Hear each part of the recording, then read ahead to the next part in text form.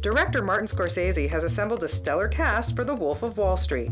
Based on a true story, the film stars Leonardo DiCaprio as Jordan Belfort. It chronicles his rise as a wealthy stockbroker living the high life to his fall involving crime, corruption, and the federal government.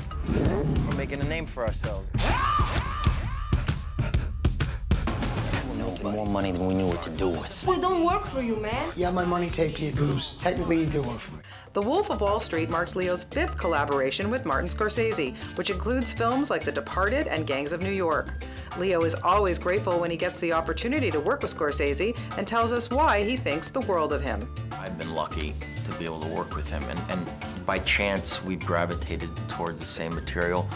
I suppose we have the same taste and, and, and, and type of movies that we want to do.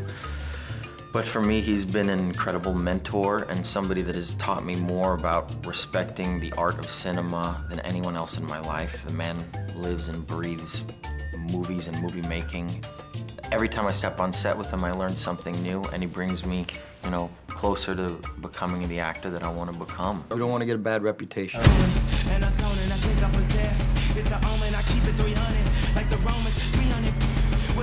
Baby,